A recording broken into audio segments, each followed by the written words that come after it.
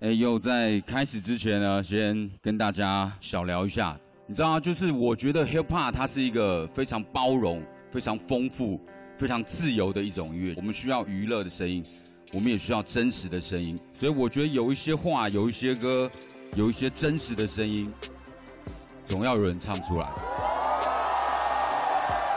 那我希望我这首歌呢，可以在每一个人心中埋下一颗种子。就它什么时候开花结果，我不晓得。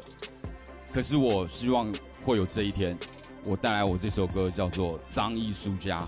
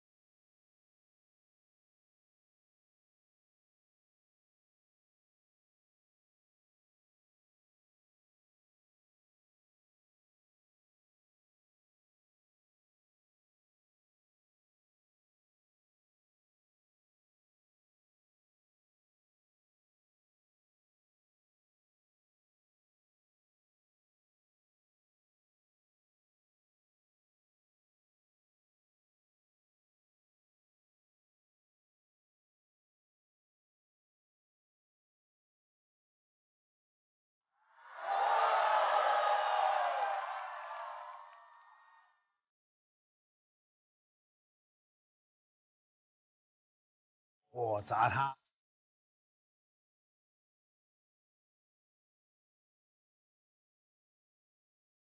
哦。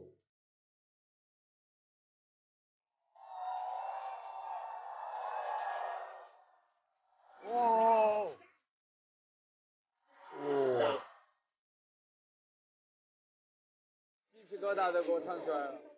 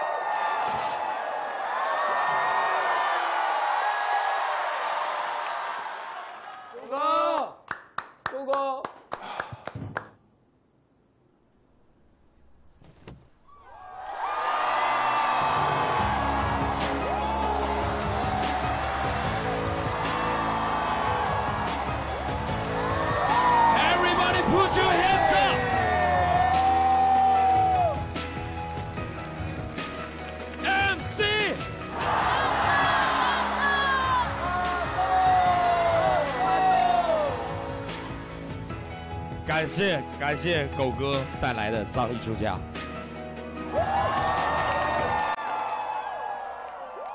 哇，今天怎么回事啊？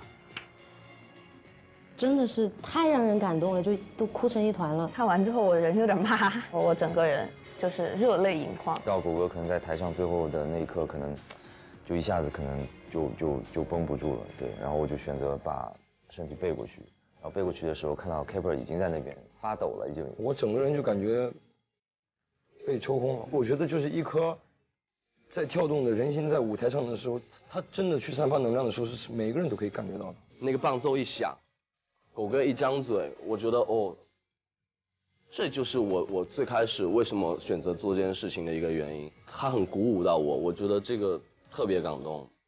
舞台上的老师们在拿着五颜六色的墨，用力的打在狗哥身上，那一刻我是真的有点绷不住。撕下那个表演者们油彩背后的那幅自己的肖像的时候，就注定了。他会被载入史册，而且永远是在中文说唱歌手里的第一页。我从来也没想过我会在综艺节目上面哭。从我最开始接触到 hiphop 就听他的歌，到现在，感觉这一首歌好像浓缩了他所有的经历，所以他对我的那种触动是我没办法去控制自己情绪的。狗哥那个太棒了，今天对我们。视觉的冲击，心灵的震撼是太大了。MC 哈豆，他永远都立在了那个中文说唱的 top 上面。对，我感觉狗哥刚才最后也是热泪盈眶，是激动。这首歌真的，狗哥做到了艺术家整个的氛围。狗哥，让工作人员把衣服换一下，好吧？不要，不要换。哦 那么有请盛宇回到舞台。